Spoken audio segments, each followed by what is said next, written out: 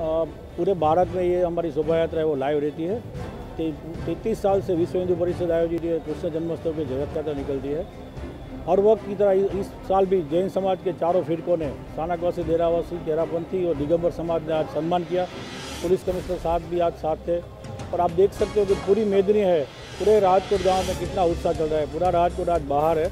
कृष्ण भगवान की जो जन्मोत्सव की उजवनी है, वो अलग से रहती है और मेरे ख्याल से पूरे विश्व में इसका लाइव देखा जाता है। हमारे हमारे, हमारा संदेश ये रहेगा कि कृष्ण भगवान वो हिंदू समाज के नहीं है पूरे विश्व के हैं अगर आप देखेंगे तो जैन समाज के जो अगले जो तीर्थकर है, उसमें भी कृष्ण भगवान का नाम है।